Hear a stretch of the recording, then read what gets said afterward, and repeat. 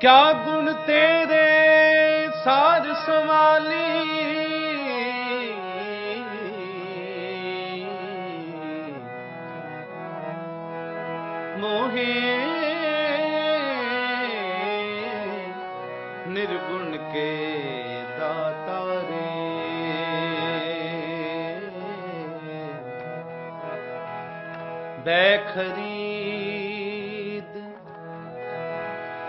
क्या करे ਚਤੁਰਾਈ?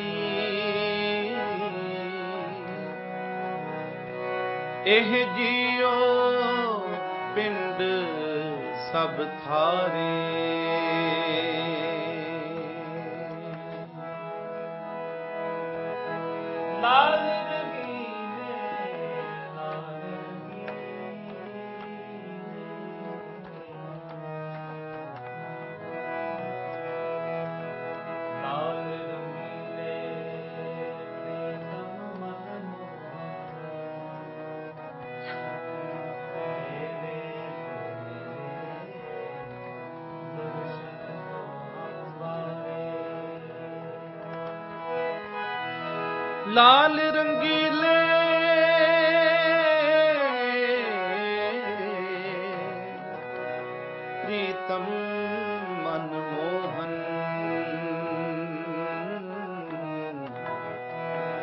ਤੇਰੇ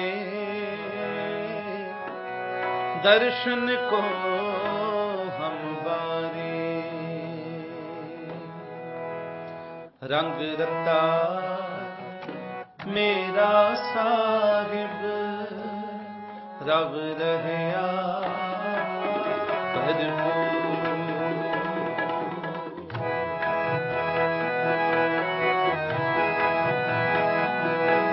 ਰੱਤਾ ਮੇਰਾ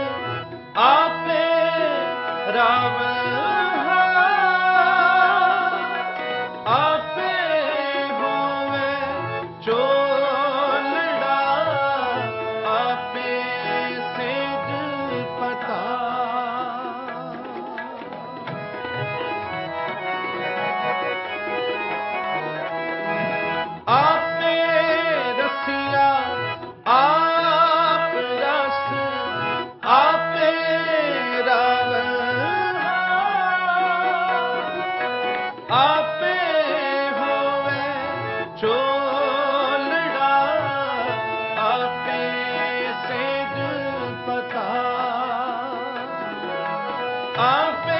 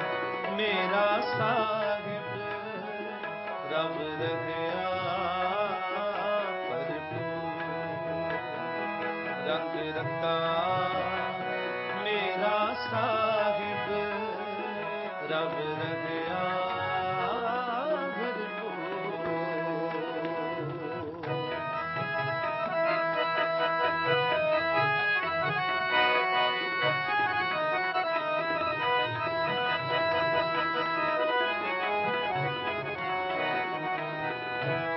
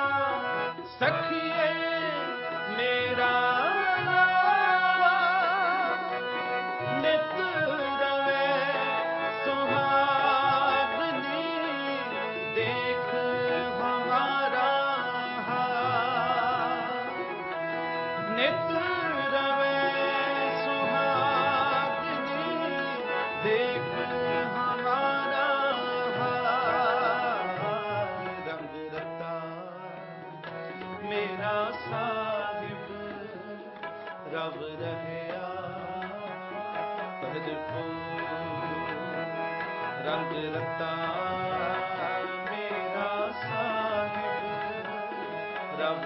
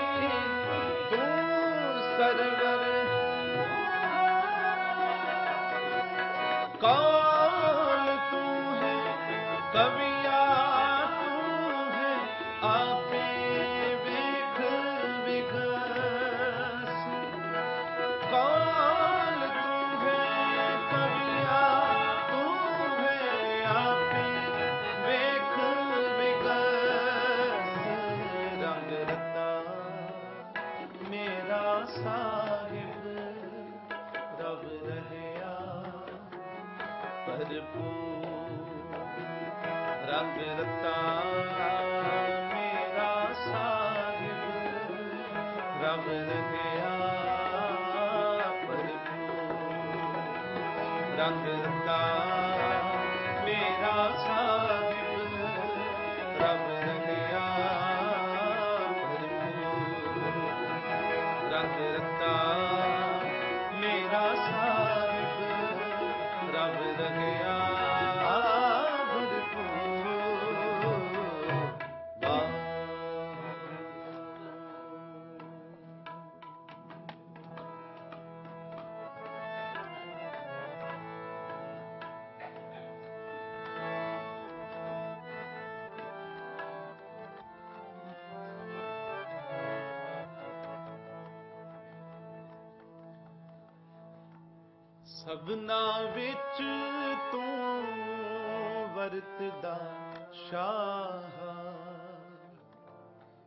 ਸਭ ਤੁਝੇ ਤੇ ਆਵੇ ਦਿਨ ਰਾਤ। ਸਭ ਤੁਝੇ ਤੇ ਆਵੇ ਦਿਨ ਰਾਤ।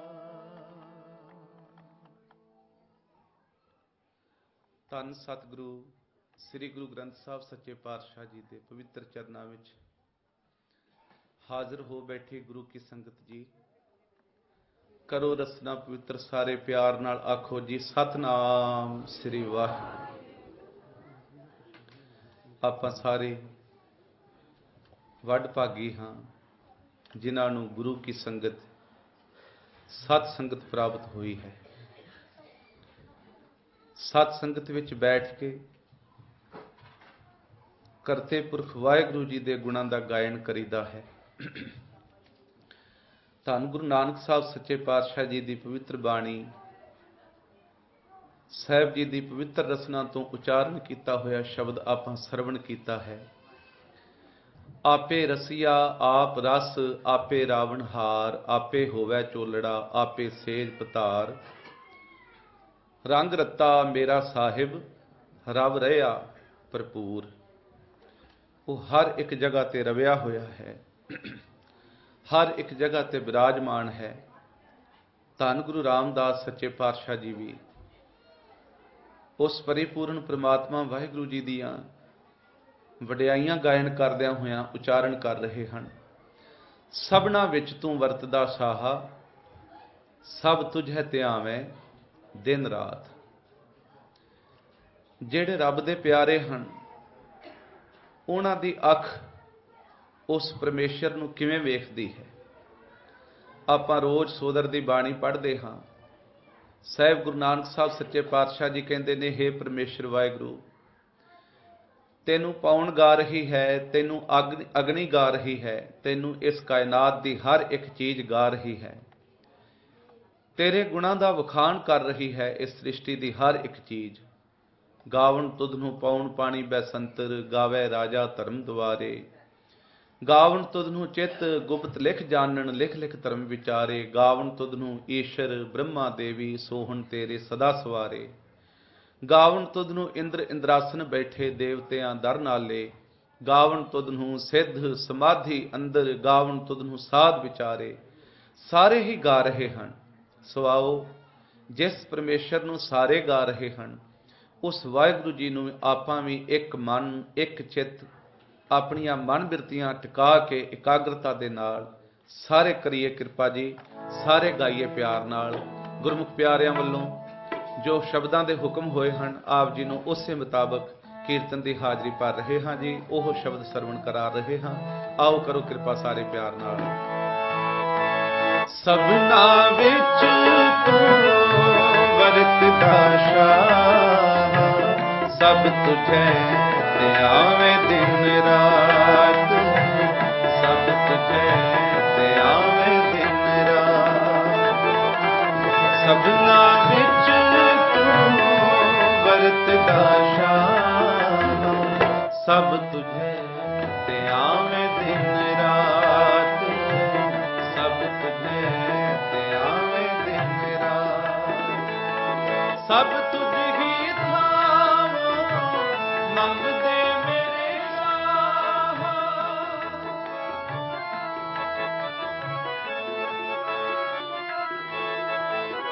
ਸਭ ਤੁਝ ਹੀ ਥਾਵੋ ਮੰਗਦੇ ਮੇਰੇ ਸ਼ਾਹ ਤੂੰ ਸਭਨਾ ਕਰਹਿ ਇੱਕ ਦਾਤ ਤੂੰ ਸਭਨਾ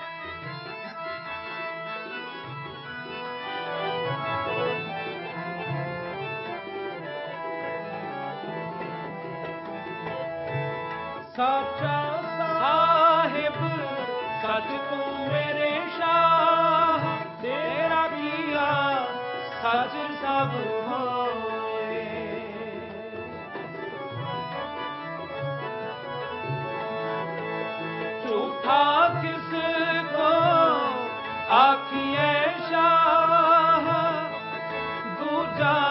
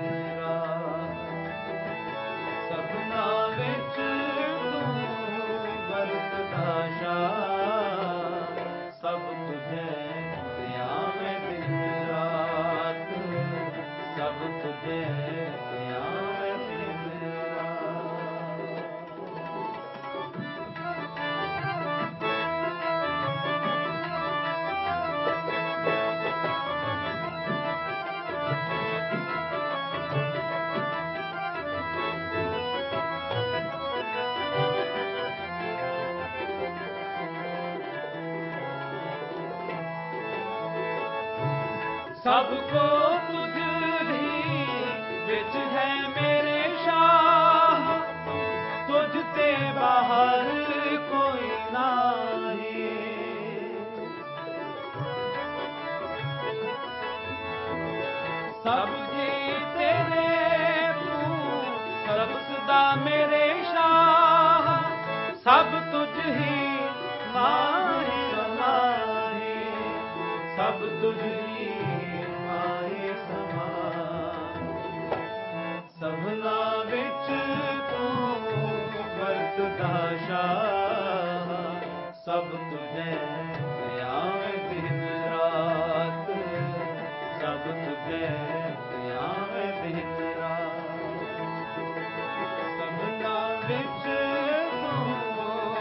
ਅੰਮ੍ਰਿਤ ਦਾਸ਼ਾ ਸਭ ਤੁਝੇ ਧਿਆਵੇਂ ਦਿਨ ਰਾਤ ਸਭ ਤੁਝੇ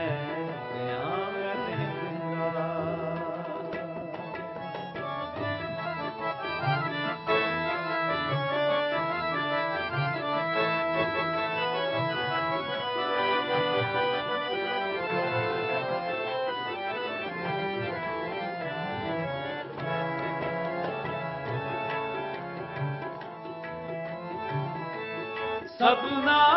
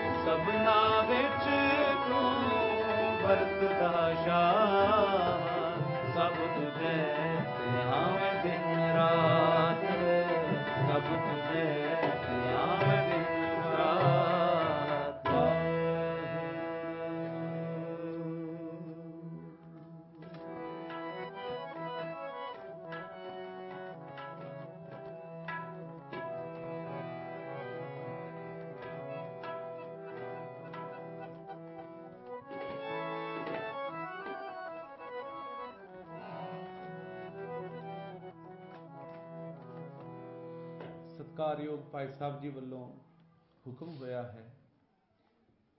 ਗੁਰ ਕਾ ਬਚਨ ਬਸੈ ਜੀ ਨਾਲੇ, ਜਲ ਨਹੀਂ ਡੂਬੈ, ਤਸਕਰ ਨਹੀਂ ਲੇਵੈ ਪਾਹੇ ਨਾ ਸਾਕੈ ਜਾਲੇ।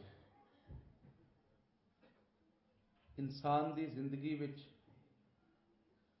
ਜੇ ਗੁਰੂ ਕਾ ਬਚਨ ਕਮਾਉਣ ਦੀ ਸੋਝੀ ਆ ਜਾਏ, ਤੇ ਸੱਚਾ ਧਨ ਇਹ ਹੈ ਜਿਹੜਾ ਕਦੇ ਨਿਖੁੱਟਣਾ ਨਹੀਂ, ਜਿਹੜਾ ਕਦੇ ਬਿਨਸਣਾ ਨਹੀਂ, ਜਿਸ ਧਨ ਨੂੰ, ਜਿਸ ਗੁਰੂ ਕੇ ਕਮਾਏ ਹੋਏ ਬਚਨ ਨੂੰ ਸਾਹਿਬ ਕਹਿੰਦੇ ਜਲ ਡੋਬ ਨਹੀਂ ਸਕਦਾ, ਚੋਰ ਚੋਰਾ ਨਹੀਂ ਸਕਦਾ, ਚੋਰ ਚੋਰੀ ਨਹੀਂ ਕਰ ਸਕਦਾ ਅਤੇ ਅਗਨੀ ਜਿਹੜੀ ਹੈ ਉਹ ਜਾਲ ਨਹੀਂ ਸਕਦੀ, ਸਾੜ ਨਹੀਂ ਸਕਦੀ। ਗੁਰੂ ਕੇ ਬਚਨ ਦੀ ਕਮਾਈ ਵਿਰਲੇ ਭਾਗਾਂ ਵਾਲੇ ਪ੍ਰਾਨੀਆਂ ਦੇ ਹਿੱਸੇ ਆਉਂਦੀ ਹੈ। ਗੁਰੂ ਦਾ ਬਚਨ, ਸਾਧ ਸੰਗਤ ਜੀ, ਸੇਵਕ, ਸਿੱਖ ਪੂਜਨ ਸਭ ਆਵੇਂ, ਸਭ ਗਾਵੇਂ ਹਰ ਹਰ ਉਤਮ ਬਾਣੀ। ਗਾਵਿਆ ਸੁਣਿਆ ਤਿਨ ਕਾ ਹਰ ਥਾਏ ਪਾਵੇ, ਜਿਨ ਸਤਗੁਰ ਕੀ ਆਗਿਆ, ਸਤ ਸਤ ਕਰ ਮਾਨੀ। ਮੈਂ ਬੇਨਤੀ ਕਰਾਂ, ਗੁਰੂ ਦੀ ਆਗਿਆ, ਗੁਰੂ ਦਾ ਹੁਕਮ ਕਮਾਉਣਾ, ਗੁਰੂ ਦੇ ਦੱਸੇ ਹੋਏ ਰਸਤੇ ਤੇ ਚੱਲਣਾ ਇਹ ਬੜਾ ਮੁਸ਼ਕਲ ਕੰਮ ਹੈ। ਮੈਂ ਫਿਰ ਮਾਫੀ ਮੰਗਾ। ਇਸ ਗੱਲ ਦਾ ਦਿਖਾਵਾ ਕਰਨਾ ਕਿ ਮੈਂ ਗੁਰੂ ਦੇ ਬੜੇ ਨੇੜੇ ਹਾਂ, ਬੜਾ ਸੌਖਾ ਹੈ। ਪਰ ਅੰਦਰੋਂ ਗੁਰੂ ਨਾਲ ਜੁੜੇ ਹੋਣਾ ਬੜਾ ਮੁਸ਼ਕਲ ਹੈ। ਮਨੁੱਖ ਦਾ ਸੁਭਾਅ ਹੈ ਕਿ ਜਿੰਨਾ ਇਹ ਧਰਮੀ ਅਖਵਾਉਣਾ ਚਾਹੁੰਦਾ ਹੈ ਨਾ ਉਹਨਾਂ ਧਰਮੀ ਅੰਦਰੋਂ ਬਣਿਆ ਬੰਨਣਾ ਨਹੀਂ ਚਾਹੁੰਦਾ। ਬਾਹਰੀ ਤਲ ਤੇ ਆਪਾਂ ਵੇਖਦੇ ਹਾਂ ਕਿ ਧਰਮ ਦਾ ਪਹਿਰਾਵਾ ਪਾ ਕੇ ਰੱਖਣ ਵਾਲੇ ਲੋਕ ਗੁਰੂ ਸਾਹਿਬਾਂ ਦੇ ਵੇਲੇ ਤੋਂ ਹੀ ਸੱਜਣ ਠੱਗ ਵਰਗੇ।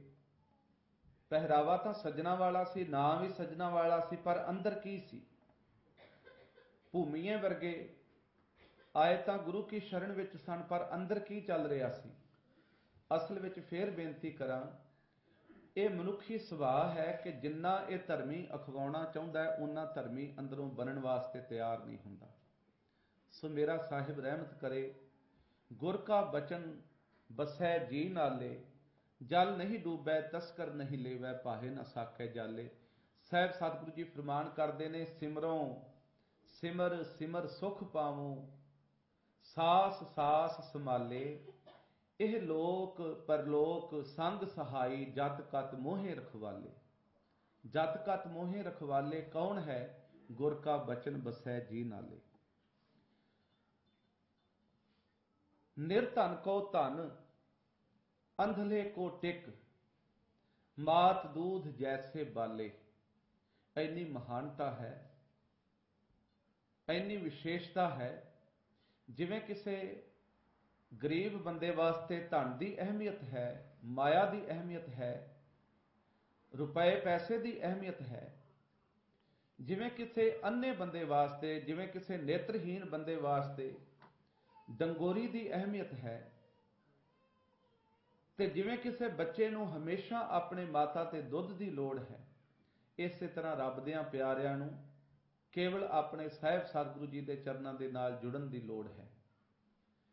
ਉਹਨਾਂ ਦਾ ਪਿਆਰ ਕੇਵਲ ਗੁਰੂ ਕੇ ਸਾਗਰ ਮੈਂ ਬੋਹਿਤ ਪਾਇਓ ਹਰ ਨਾਨਕ।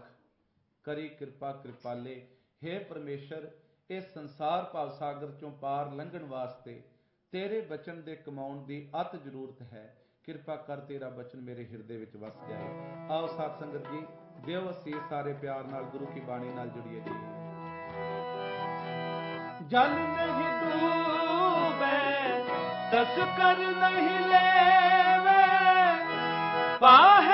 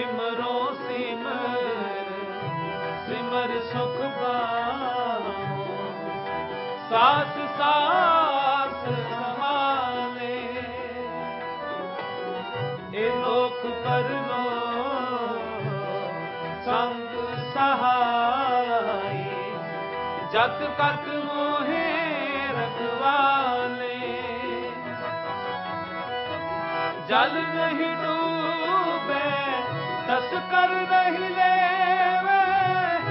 ਕਾਹੇ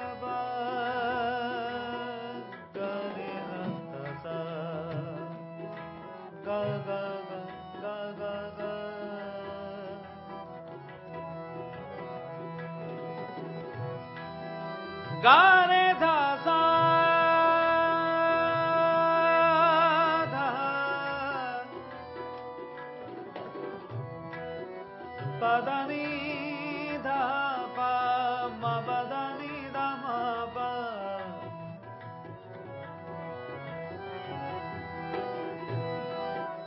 పద సరే గా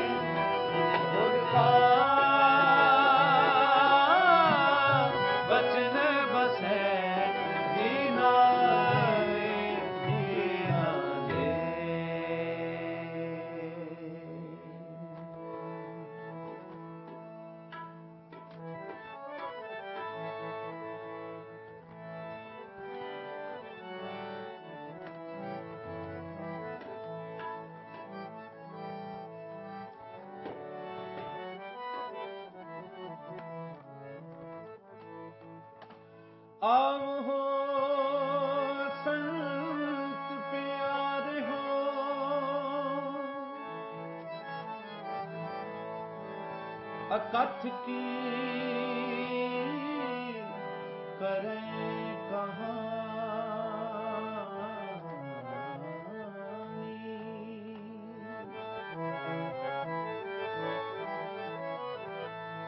करें कहानी अकथ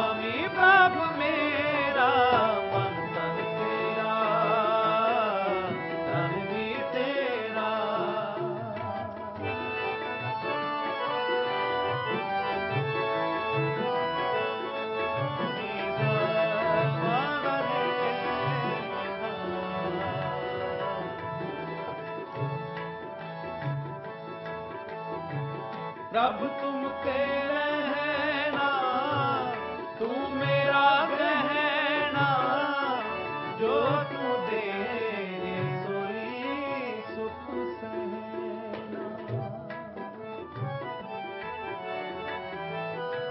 पानी सागर धनी पानी करे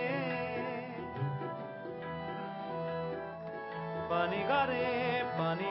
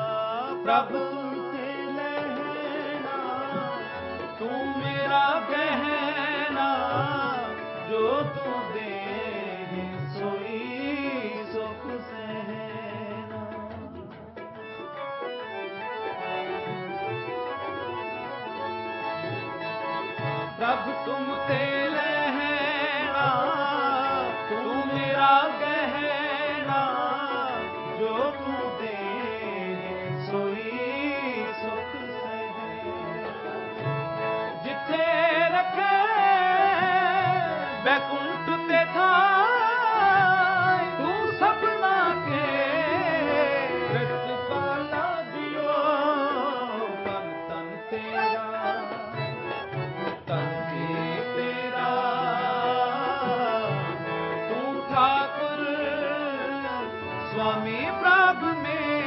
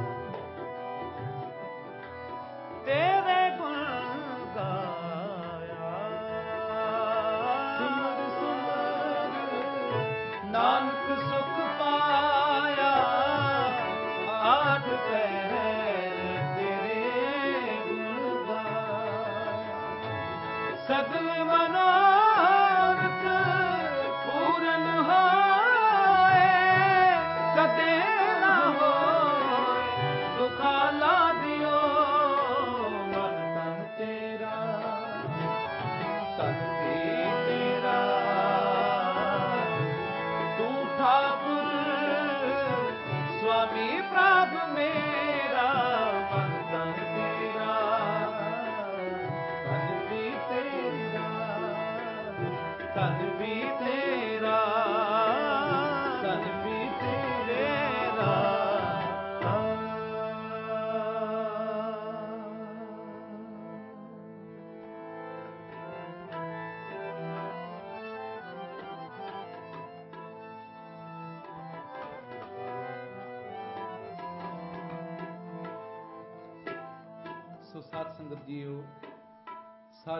ਦੇ ਚਰਨਾਂ ਦੇ ਨਾਲ ਜੁੜੇ ਹਾਂ।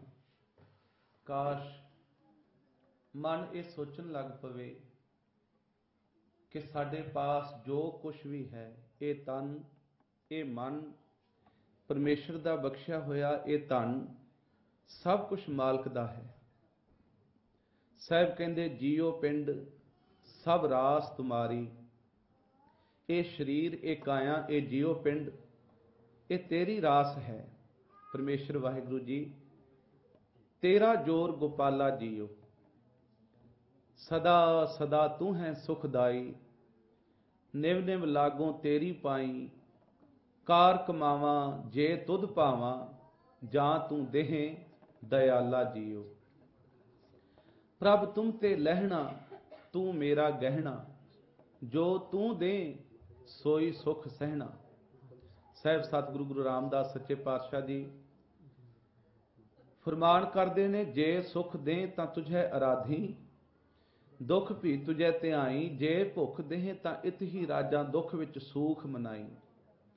ਤੇ ਸਹਿਬ ਫਰਮਾਨ ਕਰ ਰਹੇ ਹਨ, ਜੋ ਤੂੰ ਦੇ ਸੋਈ ਸੁਖ ਸਹਿਣਾ, ਜਿੱਥੇ ਰੱਖੈ ਬੈਕੁੰਠ ਤਿਥਾਈ, ਤੂੰ ਆਪਣੇ ਭਾਣੇ ਵਿੱਚ ਰੱਖ ਪਰਮੇਸ਼ਰ ਵਾਹਿਗੁਰੂ, ਕਿਉਂਕਿ ਇਹ ਸਭ ਕੁਝ ਤੇਰਾ ਹੈ। ਮੈਂ ਤੇਰਾ ਚਲਾਇਆ ਚੱਲ ਰਿਹਾ ਹਾਂ। ਮੈਂ ਤੇਰਾ ਬਣਾਇਆ ਹੋਇਆ ਹਾਂ। हे ਵਾਹਿਗੁਰੂ, ਐਸੀ ਰਹਿਮਤ ਕਰੋ, ਜਿੱਥੇ ਰੱਖੈ ਬੈਕੁੰਠ ਤਿਥਾਈ ਤੂੰ ਸਭਨਾ ਕੇ ਪ੍ਰਤਪਾਲਾ ਜੀਓ।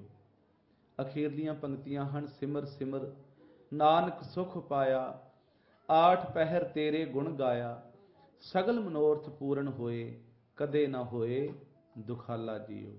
ਉਸ ਪਰਮੇਸ਼ਰ ਵਾਹਿਗੁਰੂ ਜੀ ਨੂੰ ਸਿਮਰਿਆ ਮਨੁੱਖ ਦੇ ਜੀਵਨ ਅੰਦਰੋਂ ਦੁੱਖਾਂ ਦਾ ਡੇਰਾ ਢਹਿ ਜਾਂਦਾ ਹੈ, ਸੁੱਖਾਂ ਦਾ ਪ੍ਰਕਾਸ਼ ਹੁੰਦਾ ਹੈ, ਐਸੇ ਸੁਖਦਾਈ ਸਰਬ ਸੁੱਖਾਂ ਕੇ ਦਾਤੇ ਸਤਿਗੁਰੂ ਜੀ ਨੂੰ ਆਪਣੇ ਮਨ ਵਿੱਚ ਵਸਾਈਏ, ਐਸੇ ਸਤਿਗੁਰੂ ਦੇ ਲੜ ਲੱਗੀਏ, ਜਿਸ ਲੜ ਲੱਗਿਆ ਇਹ ਲੋਕ ਸੁਖੀਏ, ਪਰਲੋਕ ਸੁਹੇਲੇ ਹੁੰਦੇ ਹਨ। ਗੁਰੂ ਕੀ ਸੰਗਤ ਜੀਓ, ਆਓ ਸਤਕਾਰਯੋਗ ਭਾਈ ਸਾਹਿਬ ਜੀ ਦੇ ਹੁਕਮ ਅਨੁਸਾਰ ਅਖੀਰਲਾ ਸ਼ਬਦ ਕੋਈ ਬੋਲੇ RAM RAM ਕੋਈ ਖੁਦਾਏ, ਕੋਈ ਸੇਵੇ ਗੁਸਈਆਂ ਕੋਈ ਅਲਾਏ ਕਾਰਨ ਕਰਨ ਕਰੀਮ, ਕਿਰਪਾ ਧਾਰ ਰਹੀਮ। ਇਹ ਪਵਿੱਤਰ ਸ਼ਬਦ ਸਤਿਗੁਰੂ ਸ੍ਰੀ ਗੁਰੂ ਨਾਨਕ ਸਾਹਿਬ ਸੱਚੇ ਪਾਤਸ਼ਾਹ ਜੀ ਦਾ ਉਚਾਰਨ ਕੀਤਾ ਹੋਇਆ। हे ਪਰਮੇਸ਼ਰ ਵਾਹਿਗੁਰੂ, ਤੇਰੀ ਪ੍ਰਾਪਤੀ ਵਾਸਤੇ ਦੁਨੀਆ ਦੇ ਲੋਕ ਕੀ ਕਰਦੇ ਹਨ? ਕੋਈ ਨਹਾਵੇ ਤੀਰਥ, ਕੋਈ ਹਜ ਜਾਏ, ਕੋਈ ਕਰੇ ਪੂਜਾ, ਕੋਈ ਸਿਰ ਨਿਵਾਏ, ਕੋਈ ਪੜ੍ਹੇ ਵੇਦ, ਕੋਈ ਕਤੇਬ, ਕੋਈ ਓਢੇ ਨੀਲ, ਕੋਈ ਸੁਪੇਦ ਇਸ ਦੁਨੀਆ ਤੇ ਕਿੰਨੇ ਧਰਮ ਹਨ?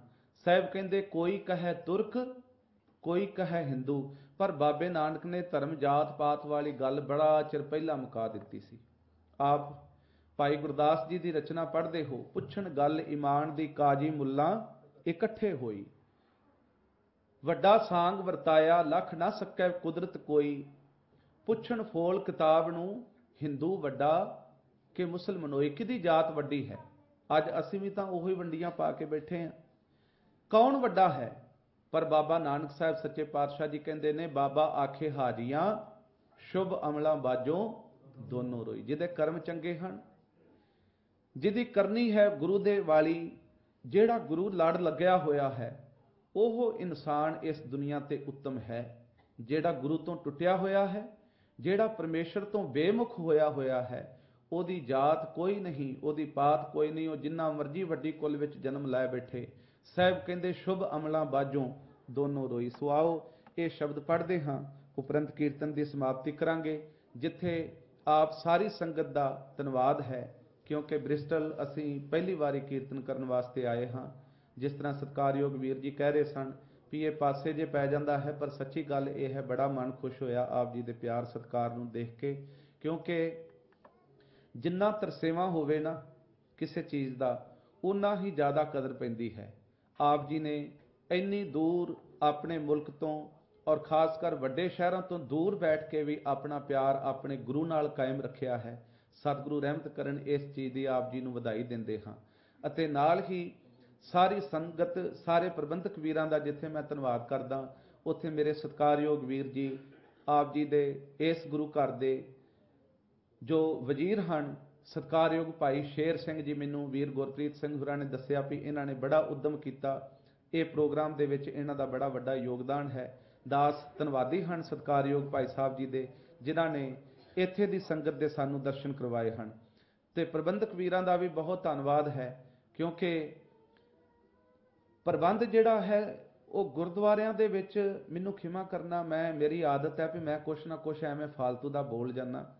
ਅਸਲ ਵਿੱਚ ਸਾਡੀਆਂ ਪ੍ਰਬੰਧਕ ਕਮੇਟੀਆਂ ਦਾ ਕੰਮ ਜਿਹੜਾ ਨਾ, ਉਹ ਪ੍ਰਚਾਰ ਵਾਲੇ ਪਾਸੇ ਧਿਆਨ ਨਹੀਂ। ਅਸੀਂ ਲੱਭਦੇ ਆਂ ਵੀ ਬਾਬੇ ਕਿਹੜੇ ਸਸਤੇ ਤੋਂ ਸਸਤੇ ਮਿਲਦੇ ਨੇ। ਸਾਡੇ ਕੋਲੋਂ ਭੇਟਾ ਨਾ ਮੰਗਣ, ਸਾਡੇ ਨਾਲ ਮਾਇਆ ਦੀ ਗੱਲ ਨਾ ਕਰਨ, ਆ ਕੇ ਫ੍ਰੀ ਚ ਕਰਨ ਸਾਨੂੰ ਕੀਰਤਨ ਸੁਣਾ ਜਾਣ ਤੇ ਮੈਨੂੰ ਖਿਮਾ ਕਰ ਦਿਓ, ਆਉਂਦੇ ਵੀ ਤੁਹਾਡੇ ਕੋਲ ਉਹੋ ਜਿਹੇ ਨੇ ਵੀ ਜਿਨ੍ਹਾਂ ਨੂੰ ਆਪ ਨੂੰ ਗੁਰਮਤ ਬਾਰੇ ਕੁਝ ਨਹੀਂ ਪਤਾ ਹੁੰਦਾ।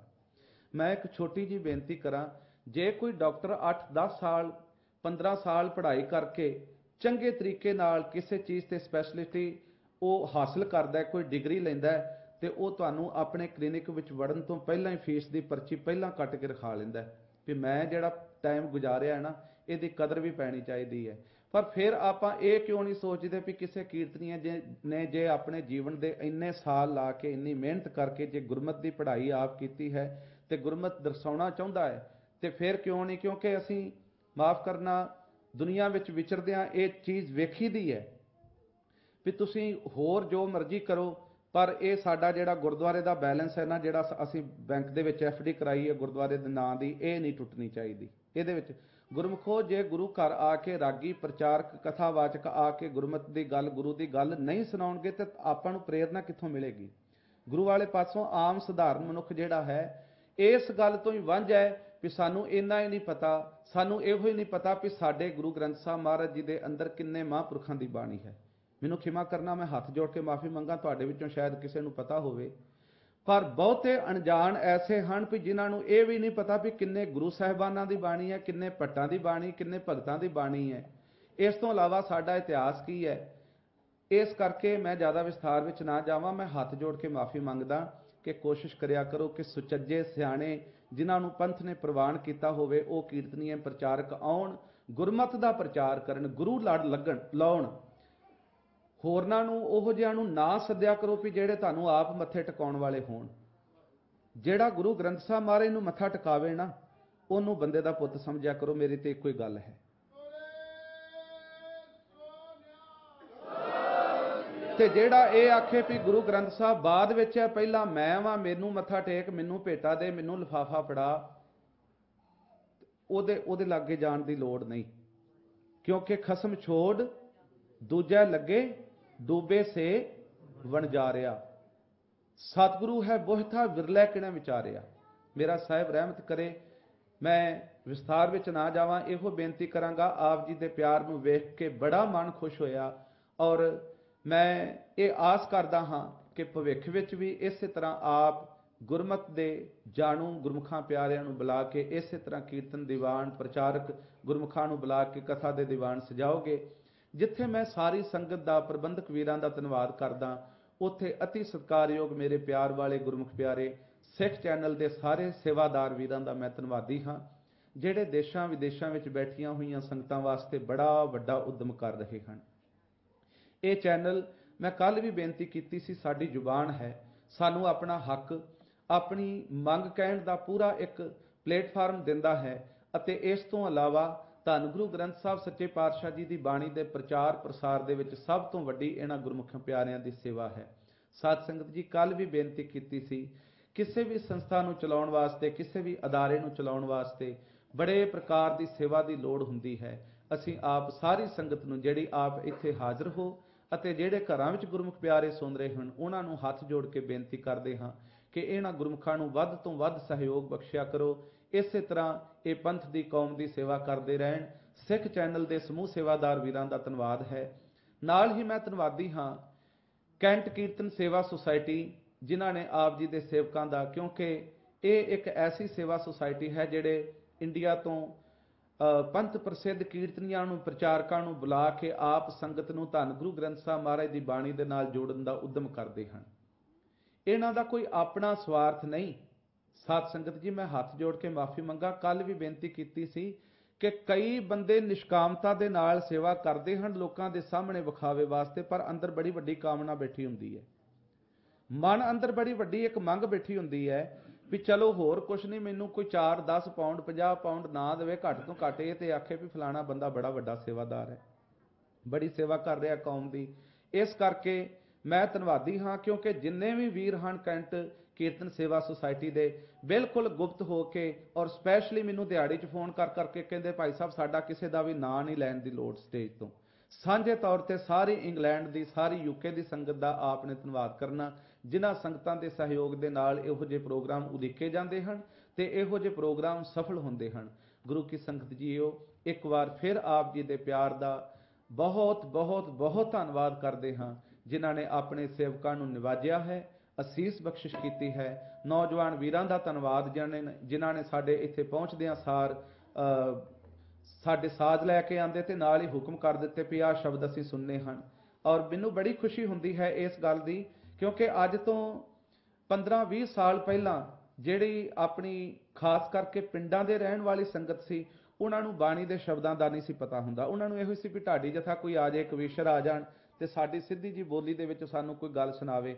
ਪਰ ਅੱਜ ਸਤਿਗੁਰੂ ਜੀ ਨੇ ਕਿਰਪਾ ਕੀਤੀ, ਟੀਵੀ ਚੈਨਲ ਹਨ ਸਾਡੇ ਕੋਲ, ਮਾਧਿਅਮ ਹਨ ਸਾਡੇ ਕੋਲ, ਦਰਬਾਰ ਸਾਹਿਬ ਤੋਂ, ਬੰਗਲਾ ਸਾਹਿਬ ਤੋਂ, ਦਿੱਲੀ ਤੋਂ ਸੀਸਗੰਜ ਸਾਹਿਬ ਤੋਂ, ਜਦੋਂ ਲਾਈਵ ਕੀਰਤਨ ਅਸੀਂ ਸੁਣਦੇ ਹਾਂ ਤੇ ਉਹ ਸ਼ਬਦ ਜਦੋਂ ਸੰਗਤ ਹੁਕਮ ਕਰਦੀ ਹੈ ਤਾਂ ਸਾਨੂੰ ਖੁਸ਼ੀ ਹੁੰਦੀ ਹੈ ਕਿ ਘੱਟ ਤੋਂ ਘੱਟ ਗੁਰੂ ਕੀ ਬਾਣੀ ਦਾ ਪ੍ਰਚਾਰ ਪ੍ਰਸਾਰ ਹੋਇਆ। ਲੋਕਾਂ ਨੂੰ ਸ਼ਬਦ ਦਾ ਵੀ ਪਤਾ ਲੱਗਾ ਵੀ ਇਹ ਸਾਡਾ, ਨਹੀਂ ਤੇ ਮਾਫ ਕਰਨਾ, ਸਵਾਸਾਂ ਦੀ ਮਾਲਾ ਨਾਲ ਸਿਮਰਾ ਮੈਂ ਤੇਰਾ ਨਾਂ, ਕਲ ਮੇਰਾ ਵਾਲਿਆ ਸਾਈਆਂ ਰੱਖੀ ਚਰਨਾਂ ਦੇ ਕੋਲ। ਇਹੋ ਹੀ ਲੋਕੀ ਸਮਝੇ ਜਾਂਦੇ ਸਨ ਵੀ ਇਹ ਵੀ ਸ਼ਬਦ ਦਾ ਹਿੱਸਾ ਹੈ। ਅਸਲ ਵਿੱਚ ਕੱਚੀ ਬਾਣੀ ਸ਼ਬਦ ਦਾ ਹਿੱਸਾ ਨਹੀਂ, ਮੇਰਾ ਵਾਲਿਆ ਸਾਈਆਂ ਰੱਖੀ ਚਰਨਾਂ ਦੇ ਕੋਲ, ਇਹ ਸ਼ਬਦ ਨਹੀਂ ਹੈ, ਬਾਣੀ ਨਹੀਂ ਹੈ। ਬਾਣੀ ਜਿਹੜੀ ਹੈ, ਧੰਨ ਗੁਰੂ ਗ੍ਰੰਥ ਸਾਹਿਬ ਸੱਚੇ ਪਾਤਸ਼ਾਹ ਜੀ ਦੀ, ਜਿਹਦੀ ਪ੍ਰਵਾਨਿਤ ਬਾਣੀ ਹੈ, ਉਸ ਦੀ ਸੋਝੀ ਹੋਣੀ ਸਾਨੂੰ, ਵੀਰਾਂ ਨੇ ਮੈਨੂੰ ਹੁਕਮ ਕੀਤਾ, ਨੌਜਵਾਨ ਵੀਰਾਂ ਨੇ ਮੇਰਾ ਬੜਾ ਮਨ ਖੁਸ਼ ਹੋਇਆ ਕਿ ਸਭਨਾ ਵਿੱਚ ਤੂੰ ਵਰਤਦਾ ਸ਼ਾਹ ਸਭ ਤੁਝੇ ਧਿਆਵੇਂ ਆਮ ਵੀ ਸ਼ਬਦ ਨਹੀਂ ਸੀ। ਆ ਜਿਹੜੇ ਸ਼ਬਦ ਹਰ ਜੀਓ ਕਿਰਪਾ ਕਰੋ, ਜਾਂ ਕੋਈ ਬੋਲੇ ਰਾਮ ਰਾਮ, ਇਹ ਆਪ ਜੀ ਨੇ ਜ਼ਿਆਦਾ ਟੇਪਾਂ ਵਿੱਚ ਸੁਣੇ ਹਨ ਤੇ ਤਾਂ ਤੁਸੀਂ ਹੁਕਮ ਕਰ ਦਿੰਦੇ ਹੋ।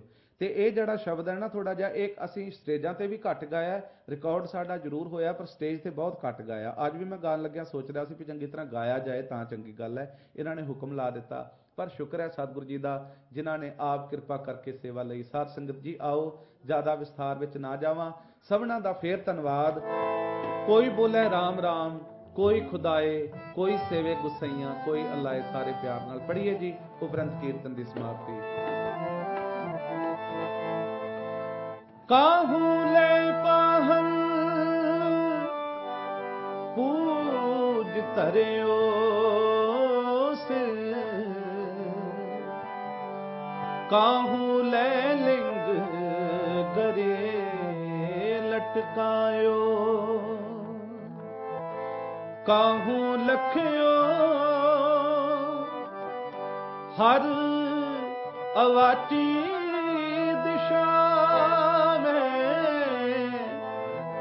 काहू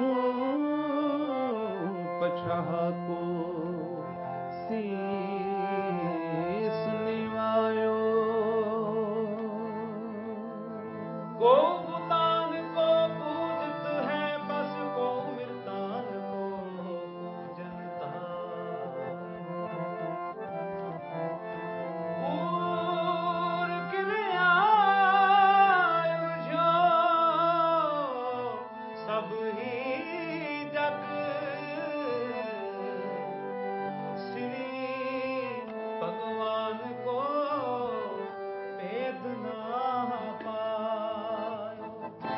ਕੋਈ ਬੋਲੇ ਰਾ